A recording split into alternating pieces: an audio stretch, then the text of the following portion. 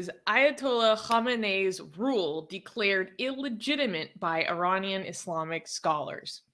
Guys, like I cannot emphasize how significant this is. This is like the call out of the past 40 years. It's like the it's such a big call out. Okay. Recently, Islamic scholars and seminarians from many religious schools in Iran are challenging the authority and legitimacy of Supreme Leader Ali Khamenei's leadership due to the crimes committed by his regime. In a statement released on the 30th of September, an anonymous collective of from seminary schools in Qom, Mashhad, and Tehran, the country's holiest cities, claimed that, quote, none of the influential officials and people with a platform are mujtahids and do not have seminary education. A mujtahid is considered an authoritative Islamic scholar whose interpretations of jurisprudence are accepted as original and valid by contemporaries. It is one of the highest levels of Islamic scholarship and a prerequisite for the position of supreme leader as dictated by the Constitution of the Islamic Republic of Iran itself. The group also clarified that they are breaking their silence over the ongoing violent crackdown on protesters. They considered it their quote, religious and moral duty to inform the rulers and the nation of their opinion. Despite being a legal requirement to wear the hijab in Iran, the group of clerics and their students clarified that, quote, the compulsion to observe hijab has no Sharia reason. Okay, this is significant. You know, this, this has incredibly been significant. this has been an open secret. It's not even a secret. Like ever since Khamenei has become the supreme leader, from the very beginning, it was clear to everybody that his leadership him being the supreme leader of Iran, violates the conditions for being a supreme leader by Iran's own constitution. Not just Iran's constitution, the Islamic Republic of Iran's constitution.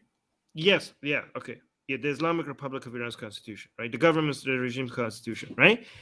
Because he's not a marja, he's not even a mujtahid and that was a condition for somebody to be a supreme leader. So a mujtahid is somebody who has um, been teaching Islamic law and Islamic jurisprudence and a whole bunch of other theological nonsense for a while and has been recognized. Okay, Susanna's mic is on, even though she left away. She went left. Um, I'm going to turn it off. Um, so it's not so she he's recognized officially and officially by a whole bunch of other mujtahids uh, to be a mujtahid. So he's teaching, he has passed a whole bunch of levels, he has mm, I don't know, check mark a whole bunch of it's kind of I don't know, I don't know how the um, categorization works, but eventually a whole bunch of other very well recognized mujtahids officially recognized as a mujtahid, okay? And then a mujtahid in in you know um, an Islamic scholar or teacher or somebody who could give rulings who somebody who could do ijtihad and give like um, make clarifications on how islamic uh, jurisprudence is supposed to be followed and stuff okay? Who has a decent amount of following and people who emulate you in shia islam is considered a marja. So marja is like one level higher than mujtahid. You become a mujtahid and you become then you become a marja okay? Khamenei wasn't a marja he wasn't even a goddamn mujtahid when he became the supreme leader. A, a, a, major violation of Iran's constitutions, right? So now, and this has been like a whole bunch of mullahs in Iran know this, and we're like, they kind of pissed about this, okay? Because uh, he was, he, Khamenei has been pissing on all their, like, they are way higher than him when it comes to uh, Islamic, like, your, as you know, how what the level that he is based on their standards he's below a lot of these people and he's now the supreme leader and the main marja not just in iran okay but in the shia world okay? In the shia world above sistani okay apparently in iraq. Sistani who's the main actual marja in shia islam okay because he he has hot, way higher credentials than Khamenei based on these based on in, all this Islamic mumbo jumbo based on their own standards, right? So for Khamenei to be more, have a bigger following and be considered more powerful and a more uh, recognized authority in Shia Islam for somebody who's like at such a low level, okay, when it comes to uh, religious credentials, is like him pissing on their entire standards, right? And these this has been a major grievance that all these mullahs have had for all these years. But the fact I know when I was a kid back in Iran, I remember some mullahs said something one time and I don't know, they disappeared or something. They something happened to them. I don't know how they shut them up. I don't remember exactly how they managed to shut them up, but they usually don't say much. Okay, these mullahs. But now the fact that all these people are coming out and saying it openly like this shows that as much as big of the anti-religious aspect of these protests are right now in Iran, the religious side is also very significant, right? And the anti-regime protests in Iran is weakening the confidence and the support for the regime enough for these other mullahs to grow enough balls right now to religious balls to come out and say that you know now is the time for us to talk about this multi-decade grievance that we have had with your supreme leadership. And this is significant okay? Because as even even if the streets of iran are filled with protesters okay? There's a sect of iran that is very religious that is wondering like yeah is this like you know i want to make sure i'm islamically correct when I'm opposing this Miss Mofo, right? Uh, and when all these mullahs come out and say like, yeah, this guy's legitimacy is questionable and blah blah blah, that makes the religious part of Iran also more likely to join the non-religious part of Iran in joining the opposition against the regime. So that's why this is so significant. This is the regime's base. The religious Iranians are the base of this republic, so-called republic, right? If the non-religious are lost, but if you lose the religious, then then you are the, the, the it will be it will be a house of cards. The main pillars that this regime is founded upon is looking very shaky. But if you lose the religious people. But yeah, go, you, you want to say something? There is so much about this report that I want to get into. So first of all, okay, I don't know if it's because I can only read this through auto translate, right? But I actually have the statement in Farsi and then auto translated from English, so we can go over that if you'd like. I think it would be really fun. Um, but they go after everyone. What was reported in like English media was just like a little like about Khamenei and a little bit about Iran's president Raisi, and they talk about how Raisi's education is trash, and they're like, he makes mistakes that even like minor age students wouldn't make. like, but it was so funny when I read the full statement because they go after everyone. It's not just Khamenei, it's not just Raisi. Like at, on all these different levels of government, they're calling out all these officials and basically saying, You're uneducated, you're vulgar, you don't know what you're talking about. He's only known as an average translator of some texts. I was like, Oh, damn. so, like so to be calling out and insulting everyone, I'm like, This is juicy. Yeah, well, I mean, this is so they don't go after Khamenei like that, right? So Khamenei has lower credentials than a lot of uh, mujtahids in Iran, but he is educated. Okay, he's like well read and educated. He's just not high in credentials when it comes to religious standards by all these other mujtahids. So that's the supreme leader. Okay, um, and I don't think they would dare talk about him like that. They would challenge his supreme leadership, maybe as like as they have, but they wouldn't talk so insultingly about him. The president, the president, which is not doesn't have that level of authority and respect or sacredness as a supreme leader, he, he he's an embarrassment. Raisi, that's what they're talking about. He is he finished sixth grade elementary school that's his highest level of education. Okay. And he doesn't seem to be able to speak not English, but Persian, his mother language. He's like, he, he sucks at it. Right. So, and it's very embarrassing. So they went, so they challenged Khamenei's supreme leadership authority, but they went after Raisi hard. Like, in, like they Like it was burn after burn after burn. It was embarrassing. I was reading this. I'm like, God damn. um, yeah, but but here's the thing: doing sick burns on Raisi is an indirect attack on Khamenei as well. Okay. Yes. Because this pre- the last elections in Iran, which Raisi became the uh, president, uh, it was some sh- sham elections, even according to the pro-regime people. Right. So previous elections, some anti-regime people were like, "This is nonsense. This is not even a real election." Um, but this time, it was so transparently um, you know a sham election that even the pro-regime people were like okay come on. Like at least maybe dress it up a little bit better the next time.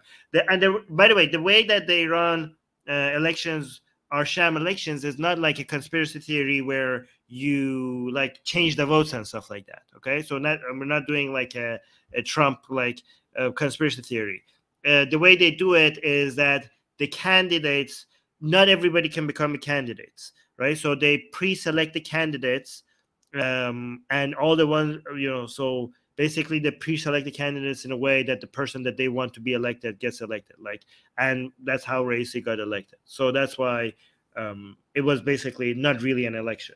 Oh, we got um, a new. Uh, oh, here, new member, Noman yeah, 041 just, just became, became a new member. Thank oh, you for yeah. becoming welcome to Satan's minions, Noman. Thank you for becoming yeah, thank you. Thank you for your support. And he All says, right, I'm not late today. yeah, that's good. oh, not new as well. Maybe he's just renewing his. ah, okay. Well, welcome again, okay. anyways. I love, okay. I love to say it. Um, yeah. Okay, so there is so much more I want to get into about this report. Um, I've been reading it in the English auto translation, but like sometimes that doesn't work very well, and a lot of it doesn't make sense. So I pulled it up in Persian and English. If you want to like go over it, Armin, let me know, because there's so much about this that is so important in terms of religious significance because they are obviously I don't um like observe the authority of it but within their own internal system of islam and their own internal logic they are going through and talking about why this is illegitimate. And so i thought that was so important and interesting to go over. So like for example they basically say in this statement that anyone who is oppressing the people should be subject to the retribu- retributive justice of I can never pronounce it right. Kisas, Kisas, Kisas, Kisas. Thank you.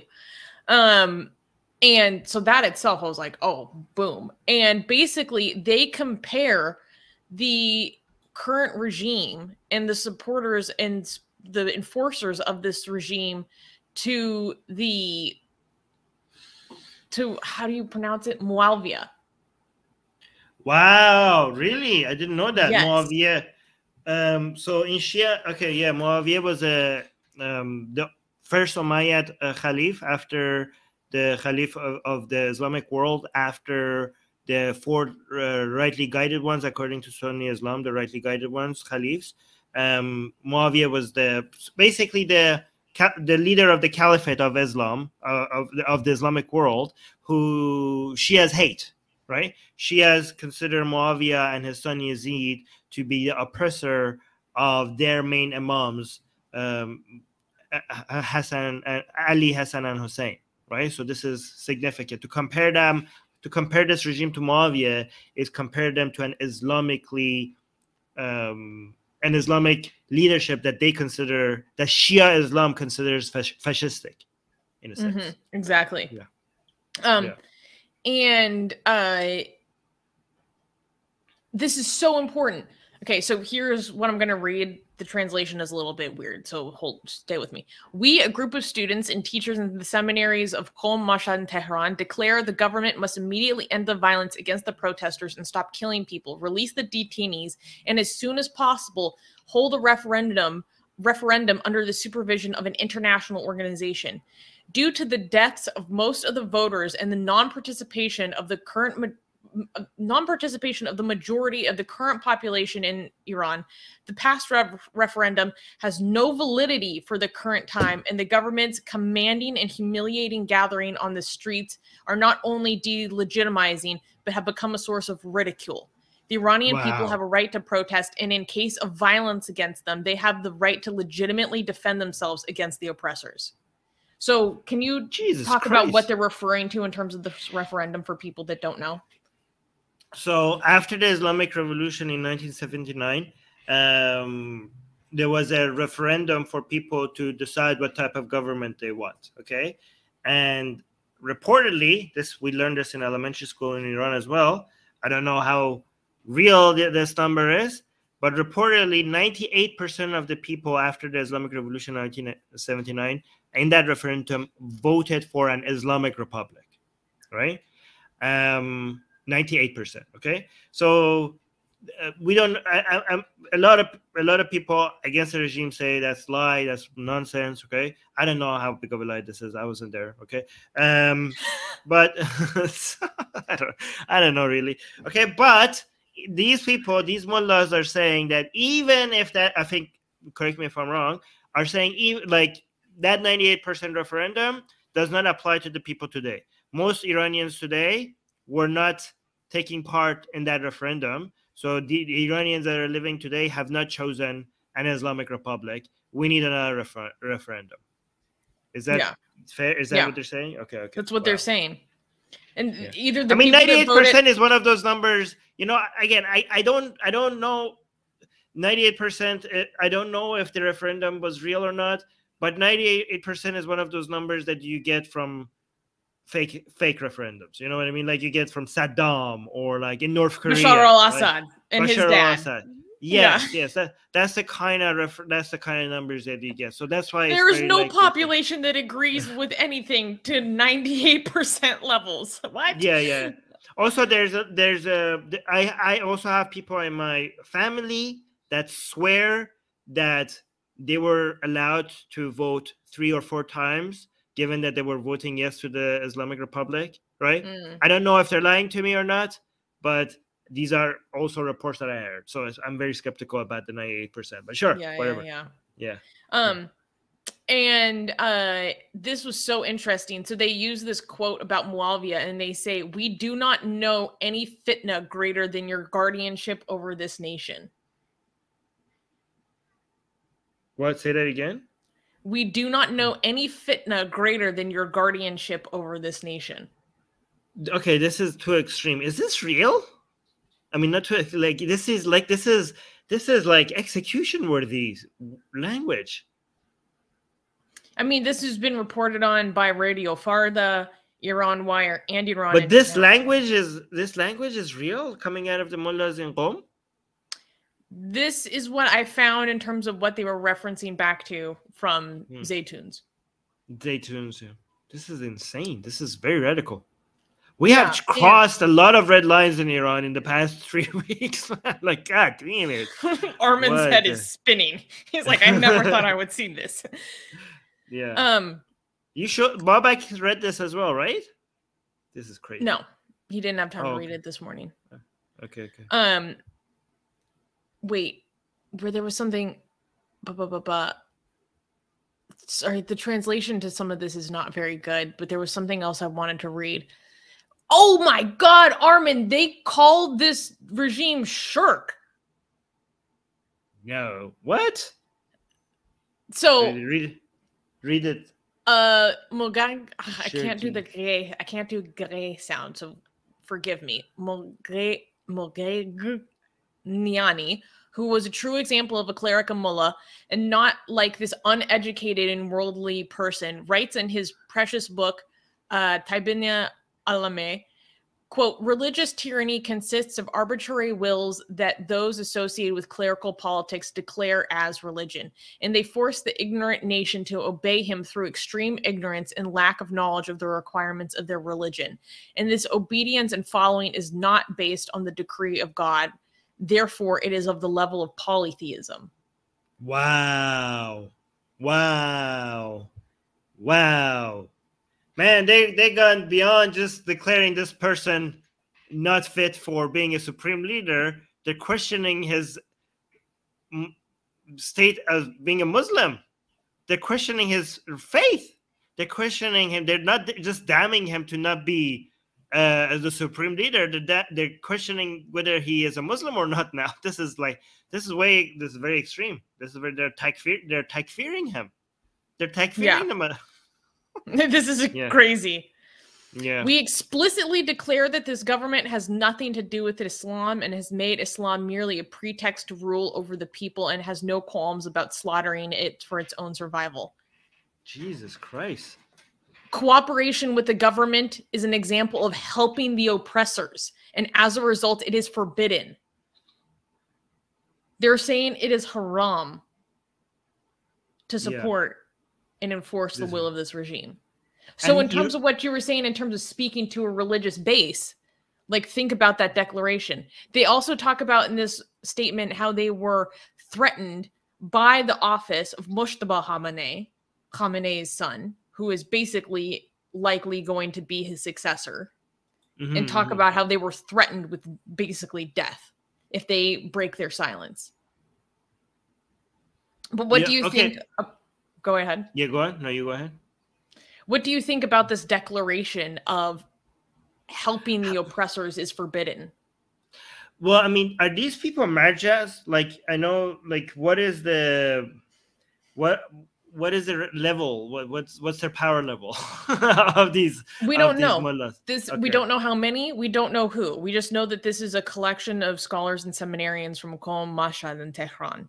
There, there was no signatories. I, there's no signatories. Okay because if so because a lot of these people could be marjas right mm-hmm. and uh, and if they're marjas i mean i don't know if they're marjas or not that means that they have a following a following that of religious people that are supposed to accept their ruling you know? And if they make it haram to follow this regime that would be i don't know a major uh, fallout of many you know many people religiously being obligated maybe even to not support this regime. That would be crazy. Mm-hmm. exactly. Yeah. exactly. Oh my gosh this is this this one quote i thought was really interesting it is quoted from the great islamic scholar and commentator of the holy quran allama uh wait wait wait wait wait this is funny no, no, oxymoron's comment is very funny. Okay, so because they're accusing him of being a polytheist, an oxymoron who's like a Hindu traditional, like a cultural Hindu. Okay, who is officially as but according to Islamic standard a polytheist. He's like, please do not associate this guy with us. right? And like, we do not like, associate we, with the regime. we do not associate. We polytheistic communities don't don't want to be don't want to associate with this regime. like, how dare you, mullahs? Do not insult us by comparing this man to us. That's amazing. That's good. That's good. I like it. Go on. Oh my gosh. This is so they i just thought this was really interesting they have this quote in this statement where they say the first martyr of this revolution was islam Wow, amazing, amazing. Yeah. Guys, by the way, we don't agree with any of this. Okay, Islam is horrible. These people are mullahs, so they're saying this is like obviously um, the, the real Islam, the true Islamic standards, is even worse than this regime. Okay, so true, but but we that's not the point that we want to discuss here. Okay, the point is that we're talking about their internal conflict. Okay, even though we disagree with these mullahs that oh Islam is, I don't know, better than um, better than I don't know what is it. Say something good. Better than any, but it's really good, and we like it, and it has good standards, and it's pro-human, and it's like anti-fascist or stuff like that. Even though we disagree with that, the point is that these people are having a major internal conflict right now. Okay, the higher ups in the, the regime and the religious people are turning on religious people in Iran, and if the Islamic Republic of Iran ever is toppled, is not going to be because the non-religious were fighting with the religious okay? The only way that this regime will topple is because the hardliners turned on each other right? So we are seeing i'm not saying this will happen but we are seeing what is required for such a thing to happen. And Mhm. the only way that the regime uh, falls is for us to see more hardliners turning on each other. Mhm. Yeah. Yeah, and also just because I'm a nerd, it's very interesting for me to see how they use their own scripture, their own internal logic of the faith to argue against Right. the dominant clerical class. I, I find that really interesting. Um, there's so many good insults in this. It's so funny. So they give a huge list of people who are involved in the judiciary, and they say there is no doubt that the average level of intelligence, literacy, consciousness, and culture of the Iranian nation is much higher than the officials and tribunes of this government. what is it? What is it with the birds? The sick what? Savage mullahs. that should be. That should have been the title. The title of this news segment should have been "Savage Mullahs Turned into Khamenei's Regime." That's what it should have been. Wait, we can have it the clip be named that. That's so Yeah. funny. This government is a clear example of present, presenting the scoundrels and delaying the virtuous. oh my gosh. Yeah. Oh my god. Here's another one. They're like um going after the guy who's the the former secretary of the headquarters for um commanding good and forbidding evil, you know, which is like a a very Islamic concept, and saying, however, he is unable to comply with the minimum requirements, and his behavior and speech are a source of spiritual humiliation. oh my god! There's another guy where they're just like, he's not even that good. He's only known as an average translator at best. I'm like, God damn.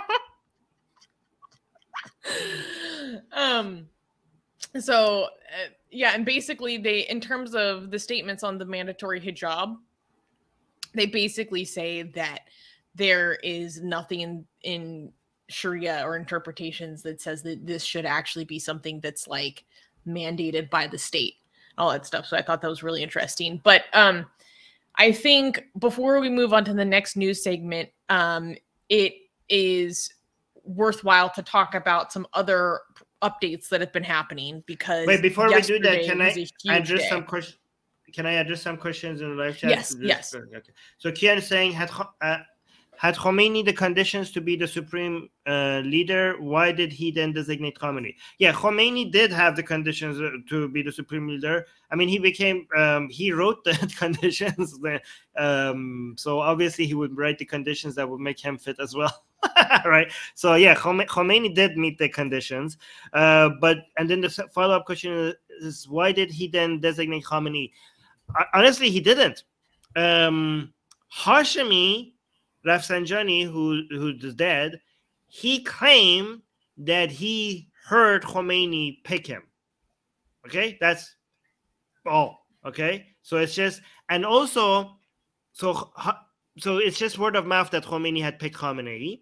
Um, but Khomeini himself has in writing that do not believe anybody, any quote by me, as, unless it's my aud- actual audio or my writing with my signature on it. Okay, so Khomeini has clarified himself in writing that do not believe anybody that when they quote me. And Khamenei's uh, supreme leadership is based on hearsay of one person that claims that he has heard Khomeini pick Khamenei. So Khomeini didn't actually, I think, pick Khamenei. In fact, Khomeini, in fact, what we have on record by Khomeini is him saying to Khamenei that he has not understood the concept of the guardianship of the jurist to the slightest.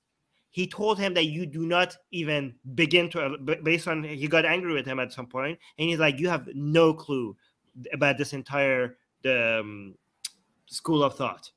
Like you are below the big level of even understanding any of this. God that's what damn. That's what Khomeini told Khamenei when he was alive. Well, and Khamenei himself has said, like, I cry tears of blood for a nation that has me as its leader. Didn't he say that? bef- right. And before that, he said he we have video of him, which was eventually leaked and everybody saw that obviously I don't have the credentials to be the supreme leader. He himself, like when they were discussing become making him the supreme leader. That's what he said, and it's we have that recording video of it. That you're like, obviously, I don't. Obviously, it's illegal for me to be the supreme leader. He said that. We have that on video. So there's That's so crazy. Yeah. Um, so I think we should give some general updates into what's been happening recently. Oh, wait, do you want to address But- this question first? Yeah. So something I don't remember is saying, isn't the Islamic Republic of Iran founded? No, uh, founded upon the five pillars of Islam. The five pillars of Islam is mostly emphasized on the Sunni side, not on the Shia side. Um, something. Okay, something I don't remember is also saying. So what's the guarantee that the next government won't be uh, hardline Islamist? There is, There is no, no guarantee. guarantee. There's no guarantee in anything. Um, yeah, but what you could do is make it less likely. But no, there's no guarantee. Um, okay, it's just hard to imagine though, given that the Iranian people really want secular democracy. right, so there's there's that. Um, okay, go on. So, okay, in terms of updates, um according to let me pull it up here. Um Iran Human Rights, which is a Norwegian based NGO, um there have been at least 185 people killed and approximately 19 of those who were killed were children. Um, they say that they're doing uh, extra work to confirm the ages of people involved. Because what they do is they actually go and look at people's death certificates. They confirm what happened with their families and stuff like that. So it's more thorough than a lot of other ways of determining this kind of thing. And it's important to note that half essentially half of that number 90 out of 185 of those killed are in Sistan and Baluchistan. Now, for those who don't know, on what was it? Not this, what was the actual date? Okay, on September 30th. On September 30th in Sistan and Baluchistan province, which is a largely Baluch area, and they are mostly Sunnis, not Shias, Muslims, there was prayers, Friday prayers that were happening. And then after the Friday prayers, a group of teenagers, there's kind of conflicting stories, but basically, people were going to protest the fact that a local police commander RAPE'd, okay, I can't say the real word because of YouTube, R worded a like 14, 15 year old girl. And so there are some reports that what happened was during or after Friday prayers, a group of teenagers went to a local police station and started throwing stones at the police station. Other reports are that people after Friday prayers went and just started protesting themselves. Basically, the police just started shooting at people. Some reports even say shooting into the mosque, which is the largest Sunni mosque in the country. And there have been hundreds of people injured. And over the past few weeks, since the 30th, just the death toll has continued to rise from this event. The death toll is now reportedly 90 people. So the government committed a massacre, straight up committed a massacre against its own citizens. Um, they were shooting at people from inside the police station. There are some reports that they were using, I, I've seen videos of them using snipers to shoot 16 year olds. And there's another report that a, a few days later, four other Baluch citizens were driving in an open roof car and were killed from a military ho- helicopter. So huge death toll. And it, yeah, it's just been dubbed Zahedan's Bloody Friday because of this massive massacre. And there's a huge um, lack of available blood for the people who are, you know, in critical condition. And so one thing that I actually have really liked to see is that I've seen like a a pan national movement to do blood drives for the people in Zahedan. And I saw photos of people giving blood and they like showed a little sign of where they're from to like give blood to Zahedan. And um, I think this is really important because this is another example of like really firm multi ethnic unity uh, in Iran um, where previously it's become like e- more easy to divide people on the basis of religious or like uh, not religious, ethnic or tribal lines. Um, PK is asking when did this happen? This happened on September 30th, so very very recently. Um, and it's not getting that much attention, which shocks me. Um, because they're poor. Because it's Yeah. the poorest region of Iran, one of the poorest regions of Iran, and they're not like um, it's far away from central cities. That's why it's not actually. Um, Iran International acknowledged that they weren't covering it as much as stuff in major cities, um, because a lot of people started attacking them. Because like we have more death in these areas than in Tehran and Shiraz, and well, you're not covering it. These are also Iranians and they came and they acknowledged that they're not covering it as much. Yeah. I mean, Yeah. it's not just foreign sources that weren't covering it as much. It was also Iranian sources weren't even covering it as much, which is kind of sad. Mhm. I mean, not kind of sad, very sad. Yeah. And it accounts But thank for you- half, but thank you- thank death you toll. Which is very great that you're covering it. So thank you, Susanna. You Oh. I, I try. I think it's really important to talk about. Um, and so there's also been a lot of stuff happening in Iran over the past 24 to 48 hours alone, like crazy amount of stuff. So the nature of the protests in Iran has shifted a little bit. Whereas previously you'd kind of see pockets of unrest kind of spontaneously happen across different cities. I mean, across 80 cities across the entire nation, at least, if not more. But they would kind of be like more spontaneous and smaller. And so it'd be easier for special forces or the government to come and crack down on them. So we've seen a shift. And what I've read reported is that, okay, here's instead of sporadic demonstrations every day, which is easier to control for the government, weekly protests appear to be more effective, showing the government's inability to suppress protesters when crowds are larger and appear simultaneously in many cities and many locations.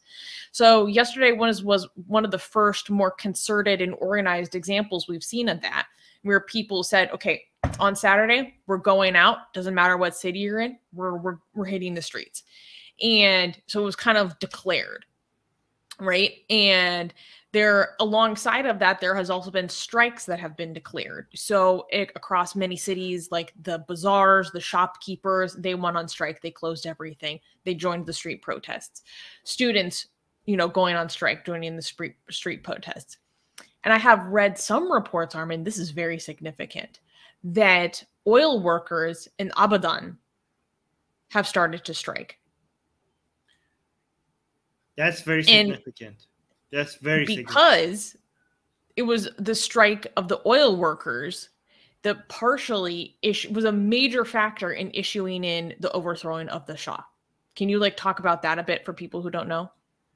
Yeah, so the Bazaris and the people who work in the oil industry, they um if they join the uh, the strikes, right now there is like nationwide strikes in Iran, and the Bazaris, which the people who work in the market, haven't been join- joining th- that significantly. The main ones haven't been joining the strikes until yesterday, right?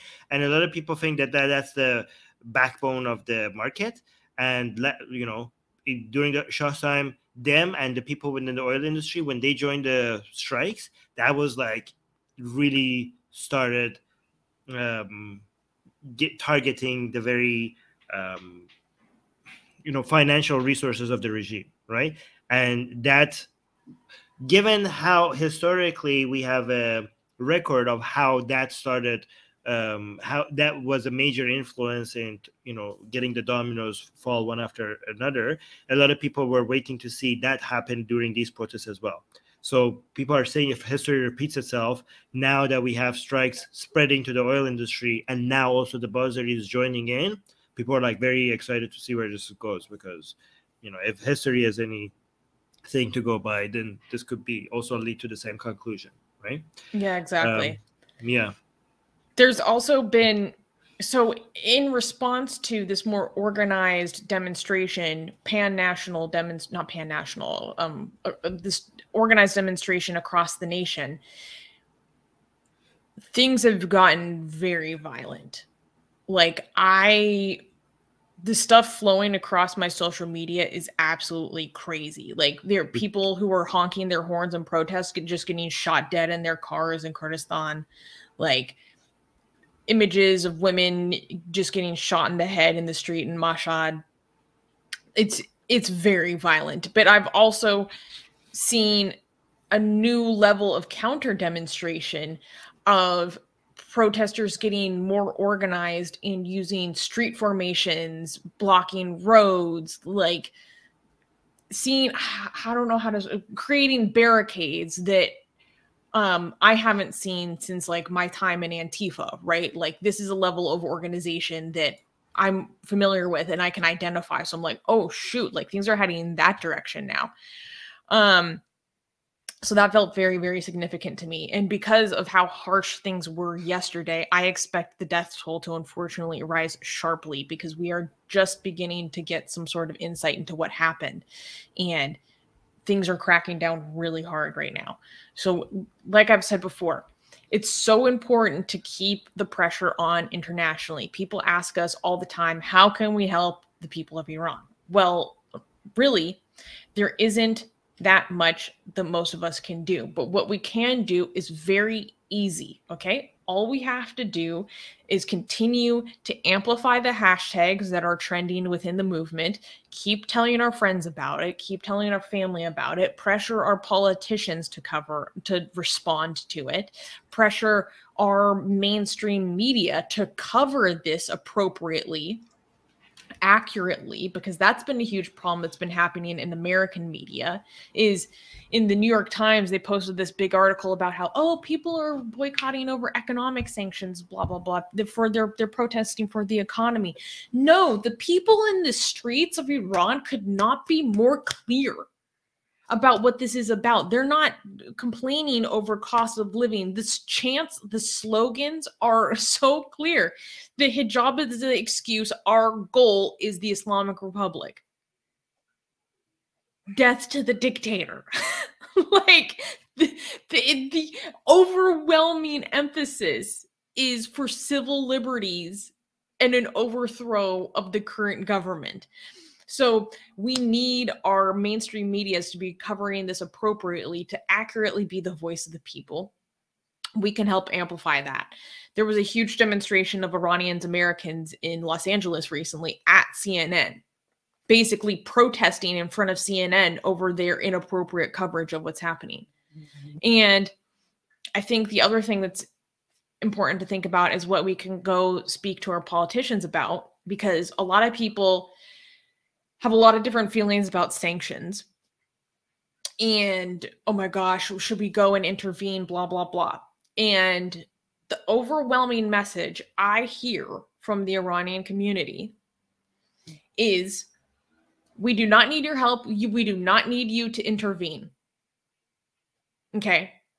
But we do need you to do is stop negotiating, stop complying, stop legitimizing and validating the authority of our murderers.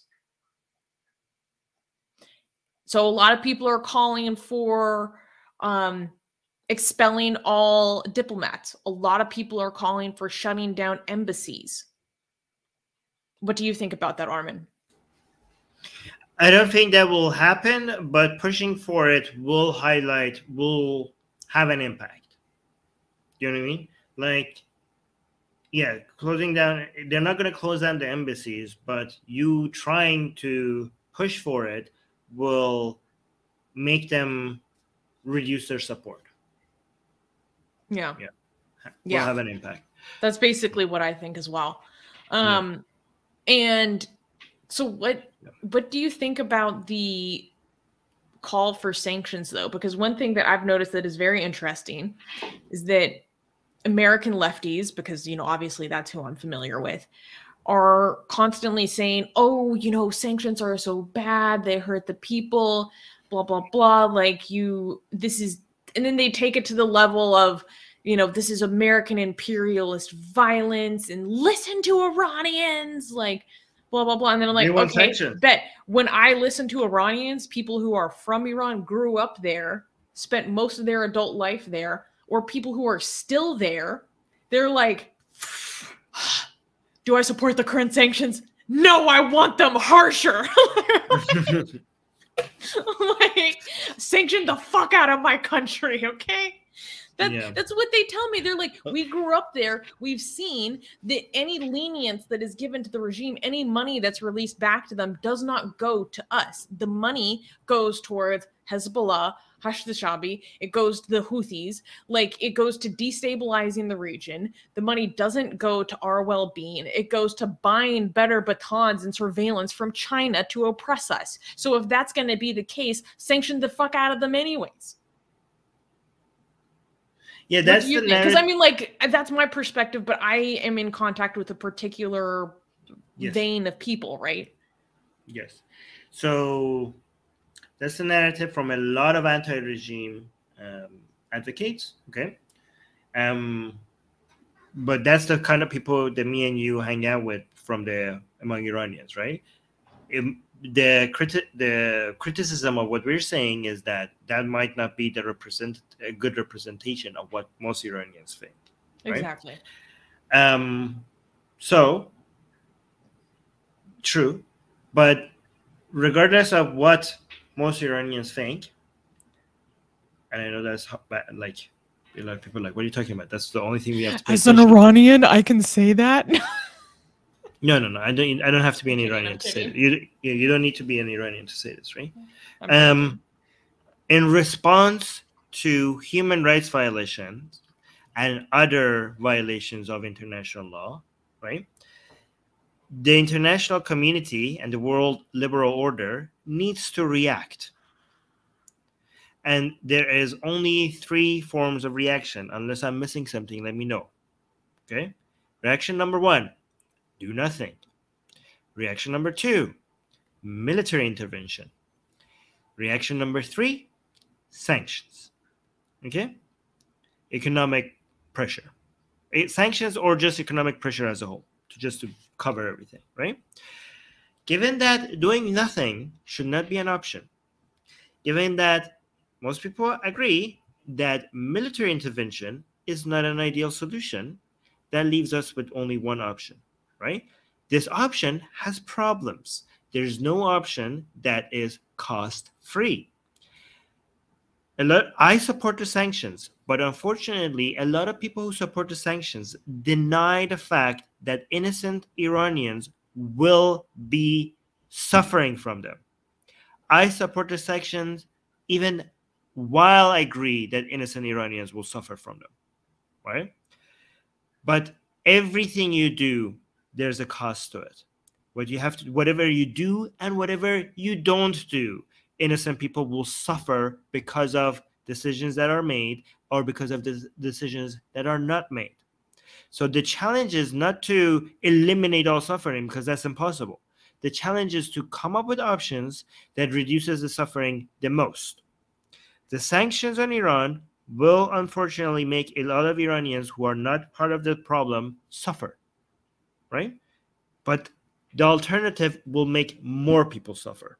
There needs to be a reaction to countries that are violating standards and norms that has made the world a much much more peaceful place ever since World War II, right? There needs to be a penalty for violations of these laws. This is why a lot of these leftists, okay, at least the liberal ones, not the progress, not the far left ones, right, agree with the sanctions on Russia while they're condemning the sanctions on Iran. Mm, They agree with the sanctions on Russia, even while they agree that innocent Russians will suffer from it. They're like, yes, we know innocent, innocent Russians will suffer from it, but Russia, the country of Russia, the, the Putin, uh, Putin's administration has violated international laws, and there needs to be a reaction by the international community. And unfortunately, Russians will suffer, but this is what we must do. Okay? Or else we're setting a new set, standard or a new norm that is okay to do. The same logic will apply to Iran. That's the comparison I make. I might be wrong about this. I'm happy. I'm happy to for for for you guys to come and challenge me on this. Right? Um, we do have a super chat that we need to read. Yes. Um, Yeah. so Trells gave us 100 Danish krona. Oh my goodness, thank you. Thank you. Um, saying, fun thought Iran's 1906 constitution required any new law to, quote, receive royal approval. And since the Shah never signed anything related to the Islamic Republic, the whole damn thing is legal, illegal. There's been a lot of people who have talked about trying to invoke this and basically as a way to dismantle the current government and then so the monarchy would be back in full effect just merely for the exercise of getting rid of the Islamic Republic. But then a lot of people are like well then we're going backwards to monarchy. There's a lot of problems with it. No no no Charles this is this is the thing. The old laws don't apply okay? We the I mean the that regime fell so people are like okay those yeah it's illegal based on that regime we have a new regime with new laws. Okay, so we don't care about the fact that we are violating the previous regime laws. Okay, we have, but the, the problem with Khamenei right now is that his supreme leadership violates the current existing laws, the current constitution. So that's the main difference here. Yeah.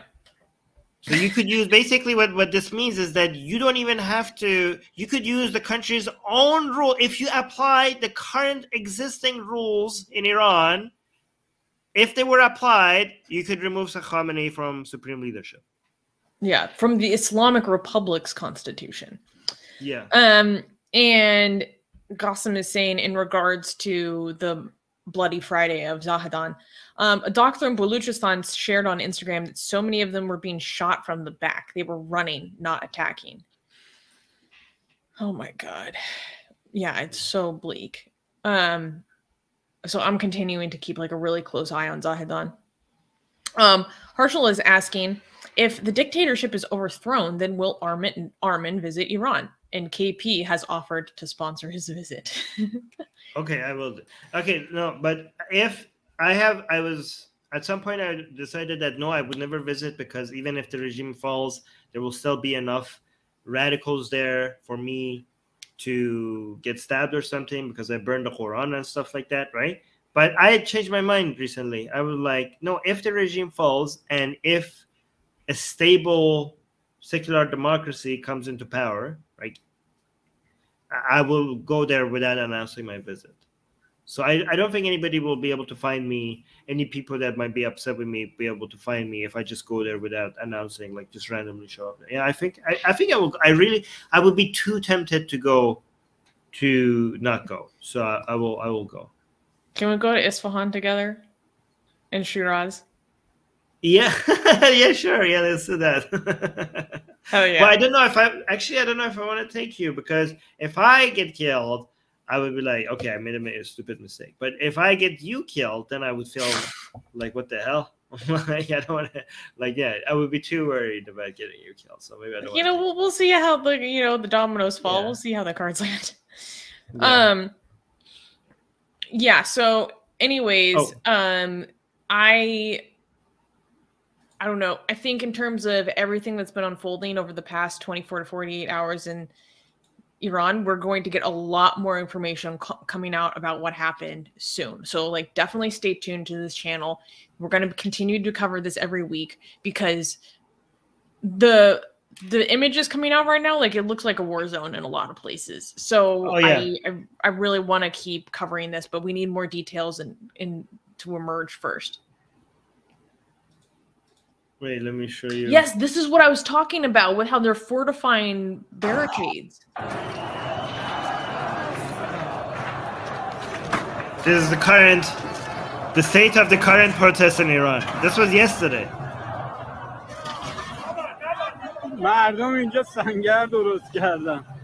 They're fortifying the streets against the regime. Mm-hmm. Look at that. And they bur- they burn this uh they burn garbage um, bins and stuff so that because it helps against the tear gas. Oh so really? Saying, i was assuming it was for visibility protection.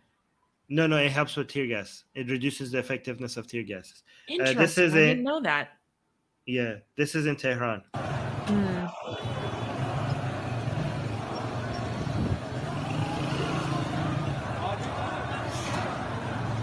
Oh, the other good news is that Canada finally listed the IRGC as a terrorist organization. I The can't believe entire- it wasn't I already. I don't think the IRGC. I think ten thousand IRGC members.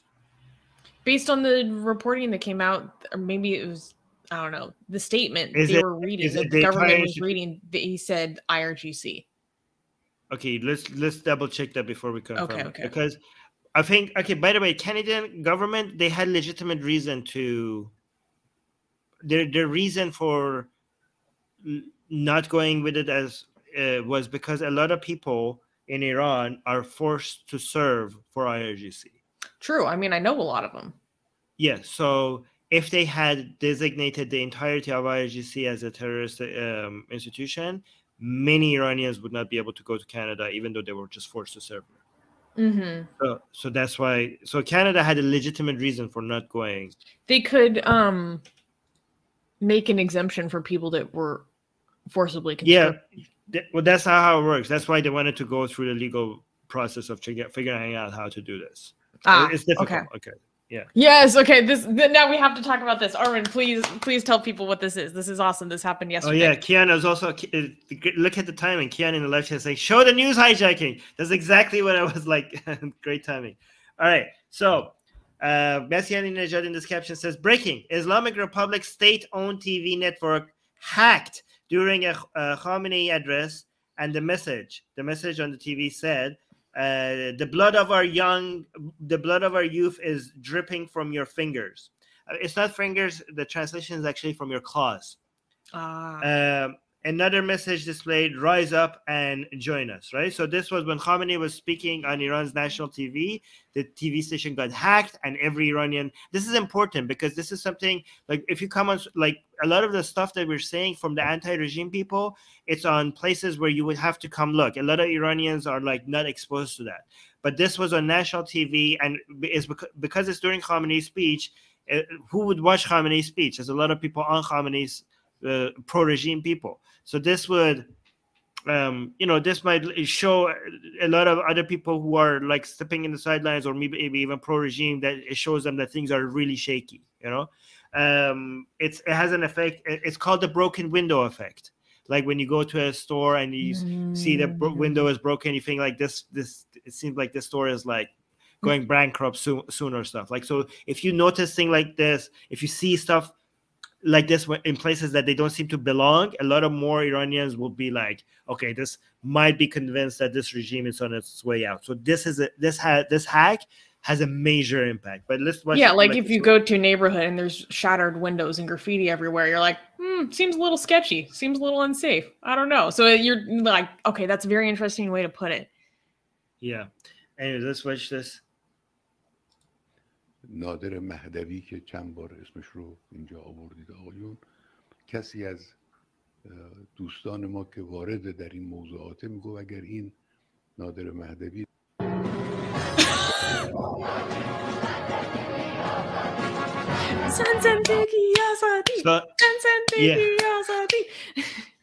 Yeah, so the hacker group that did did this is called Adalat Ali, and you can see the chant in the back is Zan Zindagi Azadi, uh, and then there's a target symbol on Khamenei's head with f- like I don't know what the fire is. Is this hellfire? I think Um, so. is it fire or whatever? Okay, and this text over here says "Bema bepivandid و به- uh, به- و به پا خیزید," me- which means join us and rise up. Uh, and over here it says خون جوانان ما میچکد از جنگ تو which means like the blood of our young is dripping for your, from your claws. You can see the pictures of a, a couple of the girls that have been killed in the recent protests, including Mahsa Amini right here. Yeah, it's Mahsa Amini, uh, Hadis Najafi, Nika Shakarami, and Nika. uh, Sarina Ismail Ismail Ismailionzadeh, I think is her name. Wow, amazing, amazing, Susanna. Like I don't think anybody non-Iranian, like I don't know ma- many non-Iranians that is familiar with these names as much as you are. That's pretty incredible. Good job. Um, good, yeah. Um, so this is very and and the chances keep saying Zan Zindagi Azadi, which means woman, life, freedom. That's the chant in the background.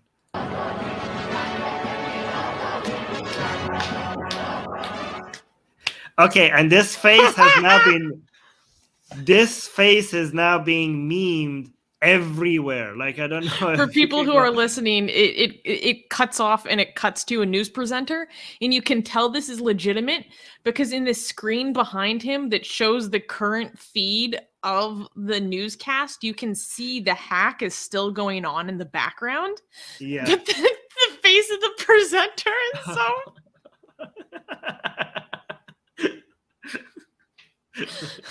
oh my god.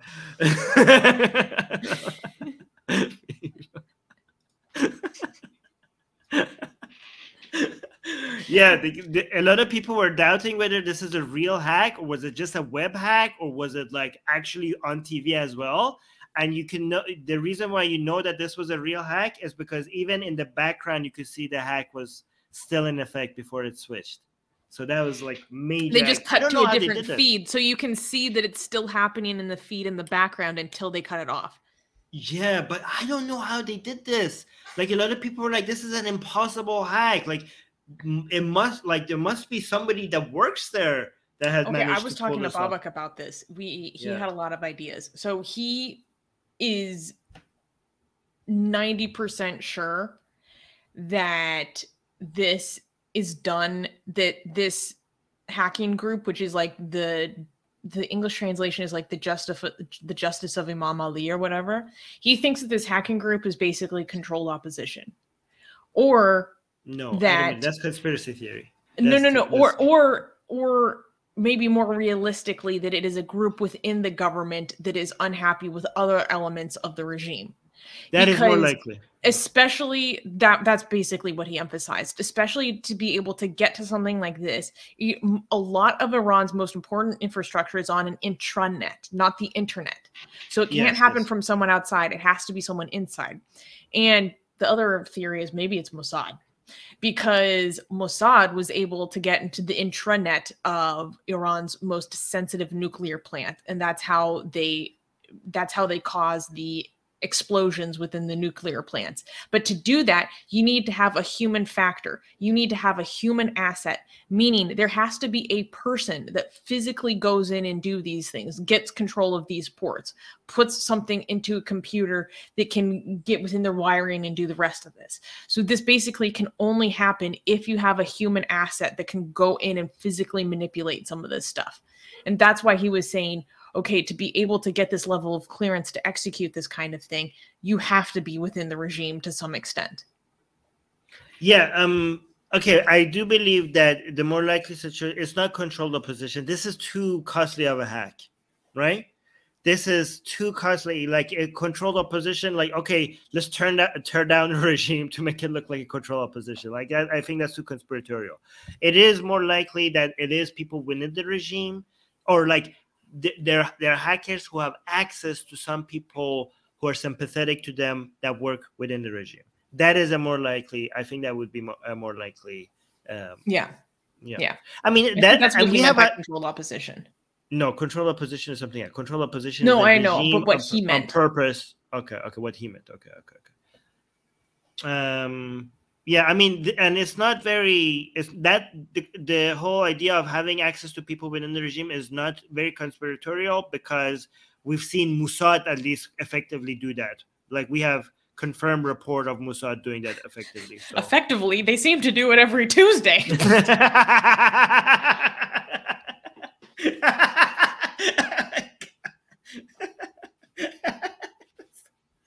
Ah, Susie, I'm, oh I'm so glad that you're you know these things and you have access. The, like I don't know how I would do all this without you. It's so good.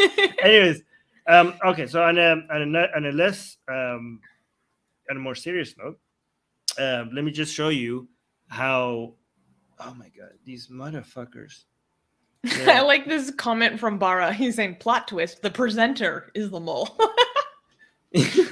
no, but it's I want to show you something is kind of disgusting.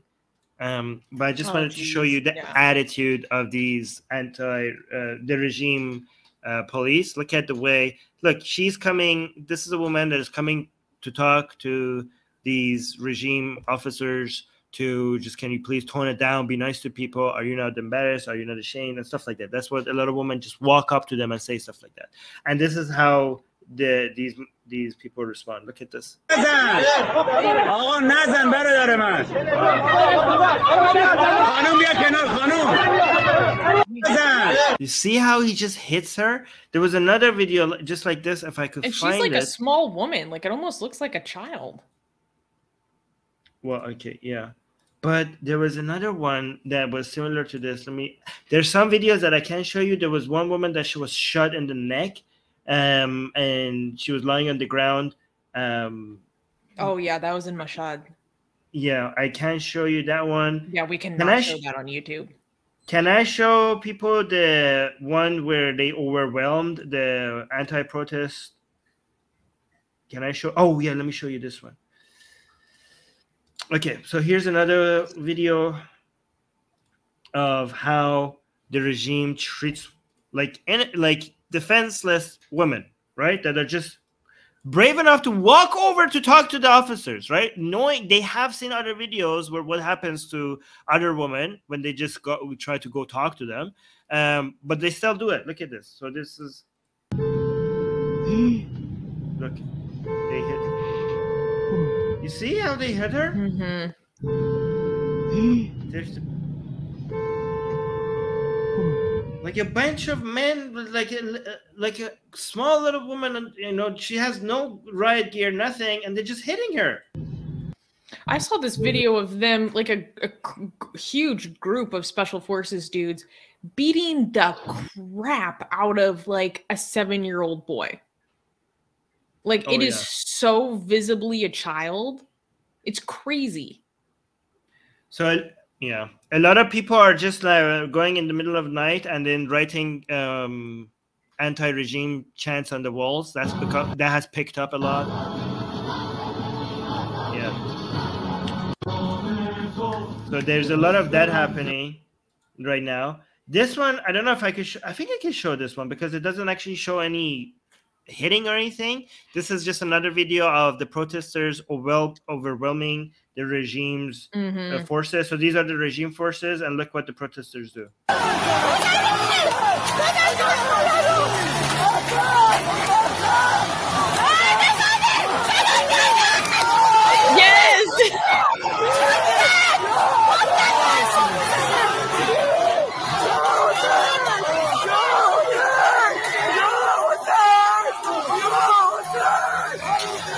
Yelling Yahoo saying?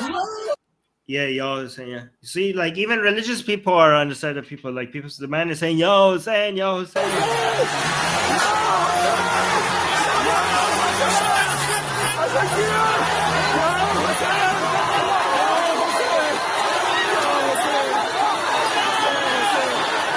The, the the main thing is that the regime officers don't feel safe. It used to be that the like now they're feeling how a lot of the people feel because people don't feel safe to go protest because there's a lot of things that could happen to them. But now it's also turning, it's making a lot of the people who are supposed to come and you know attack the people. They are afraid now as well because things could happen to them, right? Um, yeah, I've seen a lot of videos of Basijis and special forces people getting very violently assaulted. Like yeah, there's videos I can show. Yeah. There are so many videos that I can show. These are the ones that I think I can show. oh, you um, definitely can't. Yeah, there was It's- one I saw that they were they were hitting a Basiji. The people were hitting a Basiji. It was I, I don't know if you want me to show send that to you. It was really bad. It was really bloody. I've I've I think I saw that one. Yeah. You saw that one? Okay, okay. It's so hard for me to watch because I don't like to see people like getting hurt like that, even though And he was like on the ground like this, and he was like order like stop hitting me, and they would like hitting him with like a big like a big rod, and he was like bleeding from his head. It was so brutal. It was so brutal. It was Yeah. Anyways, I can't show that. yeah. I'm like, Anyways. this is what happens when you have to overthrow fascists, but I don't like to see anyone getting beaten to death. Yeah. Um, I feel bad for feeling good sometimes seeing the regime. I see like a regime um, officials get overwhelmed, and sometimes I get them see them getting hurt by the people, and I feel bad for feeling good I don't know. I don't know. I think based on your experience, like that's very valid. yeah, I don't know.